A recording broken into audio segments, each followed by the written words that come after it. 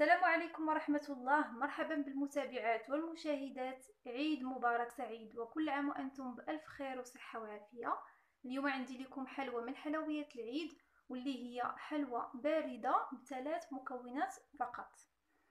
فنبدأ بالخليط الأول. بالنسبة للخليط الأول محتاجين الكاوكاو أو الفول السوداني محمر ومطحون.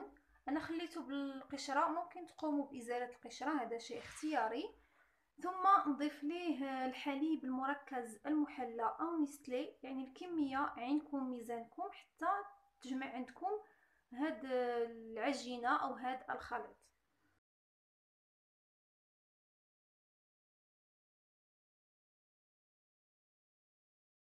بالنسبة للخليط الثاني محتاجين جوز الهند المبشور وأيضا حليب مركز محلى أو نستلي. مرة أخرى نجمعهم مع بعضهم حتى نحصل على خليط أو عجين. بالنسبة لعجينة الفول السوداني فأنا قمت بعملها على شكل آه، كرات صغيرة تقريبا في حجم الزيتونة أو أقل أصغر من الزيتونة. بالنسبة للحشوة الأخرى حشوة جوز الهند فأنا أيضا آه، قمت بعملها على شكل كرات ثم ناخد آه، كرة من جوز الهند نبسطها في الكف. ثم نوضع فيها كرة من الفول السوداني ونغلقها جيدا ثم نكورها باليدين بهذه الطريقة. وضعتهم في أوراق الحلويات الصغيرة أو الأكواب الصغيرة وضعتهم في الثلاجة.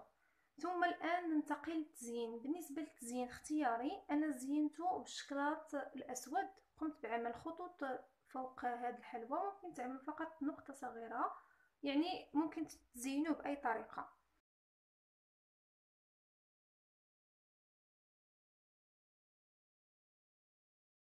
هذا هو الشكل النهائي لهذه الحلوى أتمنى الفكرة تنال إعجابكم وتجربوها. أشكركم جدا على المتابعة مع السلامة.